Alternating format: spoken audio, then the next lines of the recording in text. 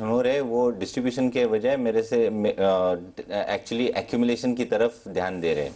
तो मेरे ख्याल से 6050 अगर होल्ड करता है डे एंड क्लोजिंग बेसिस पे तो हमें 6150 के लेवल्स देखने को मिल सकते हैं। कल जो कि एक्सपायरी का दिन है तो अगर हम डेरिवेटिव डेटा भी देखते हैं तो 6050 एक अहम लेवल होती है।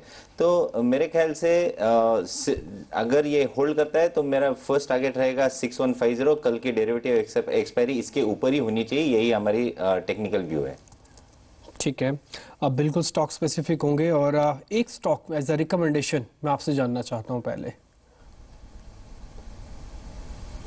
मेरा पहला स्टॉक बेसिकली अगर एग्रेसिव uh, ट्रेडर है तो डीवीज लैब रहेगा। हम्म। एक uh, बेहतरीन ब्रेकआउट परसों मिला था। uh, कल एकदम सुस्त कारोबार उसमें देखा गया है एक न्यूट्रल कैंडलस्टिक पैटर्न और हम्म। आज पहले हाफ़ एन आवर में ही उसने कल का टॉप नि, निकल के लेके आया है। तो मेरे ख्याल से ये बहुत बेहतरीन पिक रहेगी। स्टॉप लॉस रहेगा 1148 का और इमीडिएट टारगेट करीबन 1220 का होगा।